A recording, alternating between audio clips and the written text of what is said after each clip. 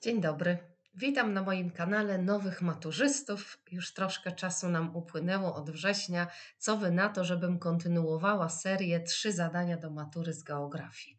Jest to seria, w której rozwiązuję trzy zadania z prawdziwych arkuszy maturalnych. Daję praktyczne rady, krok po kroku wyjaśniam, jak do zadania matury należy robić. Myślę, że ucieszycie się z tego, że wracam właśnie do tych filmów. Bardzo proszę o subskrybowanie mojego kanału, bo słuchajcie, ogromna większość ogląda mnie bez subskrypcji, a czekam na taką pewną okrągłą liczbę subskrybentów, więc proszę, kliknij suba.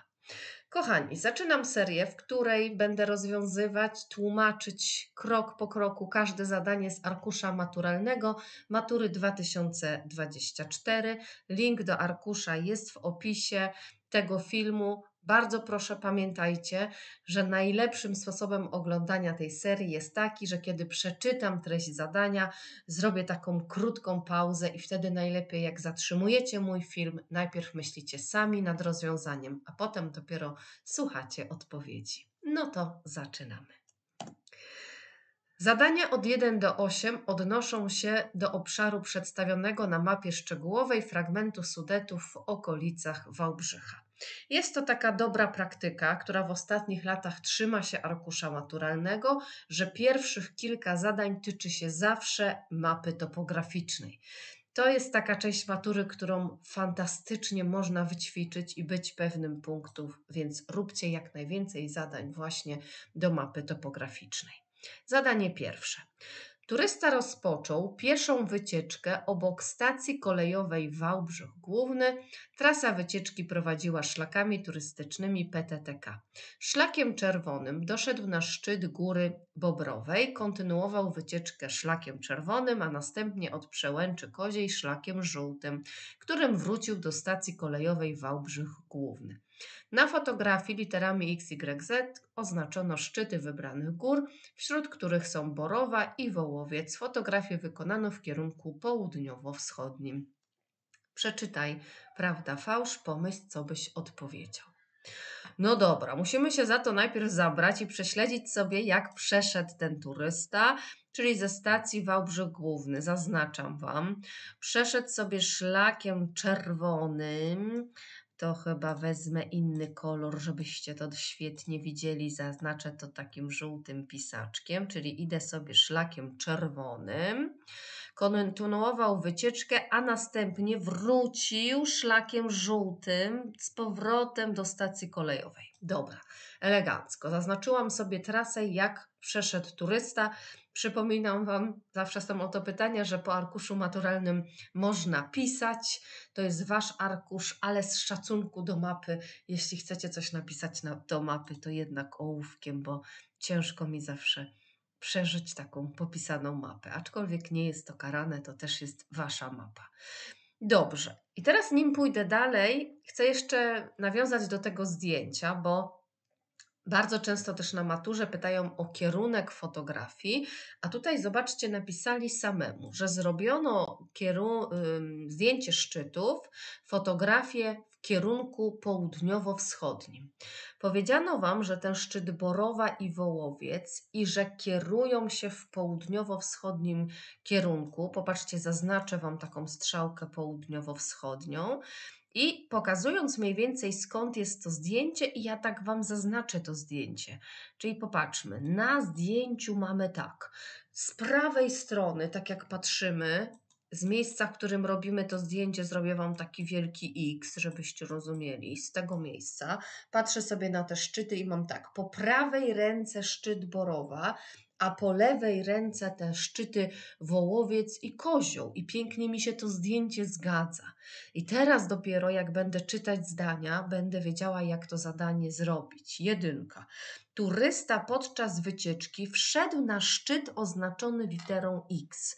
Patrzcie, jak my pięknie sobie to rozpoznaliśmy, że z prawej strony widzę szczyt Borowa, to jest Z, potem mam szczyt Kozioł Y, a potem mam szczyt X. Wołowiec, żółta linia. Wszedł turysta na te szczyty, ominął je całkiem, przeszedł przełęczą między nimi, więc zaznaczam fałsz. Dwójeczka. Fragment trasy wycieczki przebiegał między górami, których szczyty oznaczono literami Y i Z. No to już to zrobiliśmy. To jest Y, e, to jest Z. Fragment trasy przebiegał przełęczą między Y a Z. No idziemy przełęczą między Y i Z. Prawda. Kluczowa rada. Pamiętaj znaleźć miejsce, z którego robiono zdjęcie i zorientuj się po charakterystycznych punktach na mapie. Fałsz, prawda? Świetnie. Zadanie 1-2. Przyjmij, że długość trasy kolejowej ze stacji kolejowej Wałbrzych na szczyt Borowej wynosi 4,375 km. Stacja kolejowa Wałbrzych Główny jest położona na wysokości 483. Trasa ze stacji kolejowej Wałbrzych na szczyt przebiega wyłącznie w górę. Pieszy turysta po płaskim terenie idzie z prędkością 3,5 km na godzinę. Każde 100 metrów różnicy wysokości podczas podejścia wydłuża czas wycieczki o 10 minut. Oblicz, ile czasu zajęło turyście przejście ze stacji kolejowej Wałbrzych Główny na szczyt Góry Borowej. Wynik podaj w godzinach i minutach. Próbuj. Dobrze, po pierwsze, proszę mi się nie przerażać, że to zadanie jest za trudne. Pięknie jest podanych bardzo dużo danych, kroczek po kroczku robimy zadanie. Czyli macie policzyć, ile czasu jest czas, wynosi przejście tej trasy, przy czym ile ma ta trasa Wam podano, trudnością stanowi przewyższenie, bo pod górę, jak to w górach, idzie się wolniej. No to zaznaczamy znowu sobie. Idziemy od stacji Wałbrzych na szczyt Góra Borowa. Jeżeli macie różną prędkość i przewyższenie, to kluczową rzeczą będzie policzenie wysokości, jaką muszę tutaj pokonać. No i teraz szczyt, tak jak każda góra na mapie, pamiętajcie, czarna kropka, wysokość w metrach nad poziomem morza ma podany. 853 metry nad poziomem morza to jest szczyt góry. A jeśli chodzi o stację kolejową, gdzie zaczynam, no to mogłabym popatrzeć co poziomice. Każda brązowa kreska to jest 20 metrów w dół. Zwróćcie uwagę, mam tu niedaleko dworca szczyt 630 metrów i mogę teraz idąc w dół policzyć na jakiej wysokości jest dworzec, ale nie muszę tego robić, bo podano mi to w treści zadania. I bardzo często, jeśli ta wysokość nie jest podana na mapie, to faktycznie ułatwiają Wam i tą wysokość podają. No, czyli mam najniższy, najwyższy punkt. W kroku pierwszym obliczam sobie różnicę wysokości. No, to rozwiązanie wycięłam e, z klucza odpowiedzi i powiem tak, nie mogę na nie patrzeć, bo przecież 853 metry nad poziomem morza minus 483 metry nad poziomem morza równa się 370 metrów. Pamiętamy, jak mam wysokość względną, zostają mi same metry. No i teraz potrzebuję policzyć czas przejścia po płaskim terenie. Czyli gdyby to nie były góry, no to prosta zasada. Mam trasę, którą mi podano. Patrzcie, nawet linijki nie muszę przykładać, trudzić się tutaj. 4,375 km podzielić na 3,5 km na godzinę. Taką mi znowu w treści zadania podano prędkość po płaskim terenie. Wychodzi 1,25 godziny, czyli to jest godzina i 15 minut. Szliśmy, szlibyśmy ten kawałek, gdyby był płaski.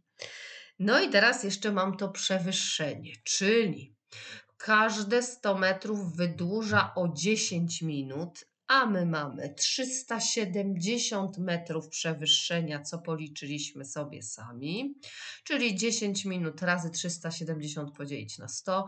No, w ogóle, jeśli macie 10 minut na 100 metrów, wystarczy uciąć jedno zero. 37 minut idę dłużej, dlatego że pokonuję 370 metrów do góry. To, co mi zostaje na koniec, muszę dodać. Po płaskim godzina 15. Przewyższenie spowalnia mnie o 37 minut. Odpowiedź końcowa 1 godzina i 52 minuty. No i co? Chyba nie takie trudne. Dodam, że w ostatnich trzech latach jest to ulubione zadanie, jeśli chodzi o zadanie na odległość, właśnie czas przejścia, więc mam nadzieję, że już wiecie, jak je robić. I zadanie drugie. W sąsiedztwie Wołowca przebiega tunel kolejowy, pole B2-3. Popatrzcie, że od razu wycięłam Wam mapę, żeby nie było wątpliwości i wycięłam Wam fragment z legendy. Pamiętajcie, wszystko co proszą byśmy znaleźli, musimy dokładnie znaleźć, jak jest na mapie oznaczone. Dokończ zdanie. Wybierz właściwą odpowiedź spośród podanych. Długość tunelu kolejowego w terenie wynosi. Zrobi z Was to zadanie tylko ten, który wydrukuje sobie mapę i będzie widział odpowiednią skalę. Kto ma taką możliwość, spróbujcie. Ja postarałam się dla Was tak super to wycelować, żeby nam się udało zachować proporcje tego tunelu. Idziemy od początku. Krok pierwszy, zawsze w takim zadaniu zajmujemy się skalą. Skala 1 do 50 tysięcy na kilometry 5 zer w lewo, 1 cm to pół kilometra to jest najpopularniejsza skala w arkuszach maturalnych. Teraz muszę znaleźć ten tunel. Proszę bardzo, mamy już sygnaturę. Zaznaczam Wam tu, o jest ten tunel i potrzebuję przyłożyć teraz do niego linijkę. No to popatrzcie, jak ja się postarałam wycelować tą linijką, czyli bez, kochani, żadnych zaokrągleń. Najdokładniej jak się da. Początek tunelu i koniec tunelu. No i odczytuję sobie 3,2 cm.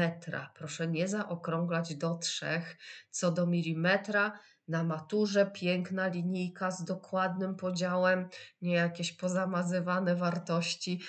No i jedziemy. Ja zawsze proszę, żebyście to robili metodą proporcji bo równie dobrze mogą Wam odwrócić treść tego zadania i podać odległość w terenie. Czyli teraz 1 cm to pół kilometra, pod centymetrami piszę sobie moje 3,2, odpowiada x kilometra.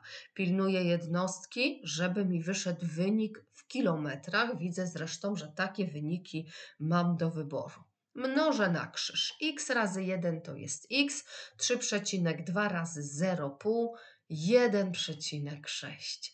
No i raduję się, że wynik wyszedł mi taki jak w odpowiedzi.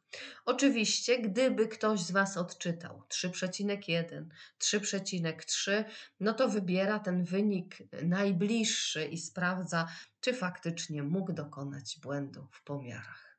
No to co, pierwsze zadania w tym arkuszu na rozgrzewkę były bardzo proste. A jeśli ktoś z Was chciałby przygotowywać się do matury ze mną na moich lekcjach VOD, to w opisie e, tego filmu jest informacja o nagraniach i kursach ze mną, a już wkrótce kolejne trzy zadania. Do usłyszenia.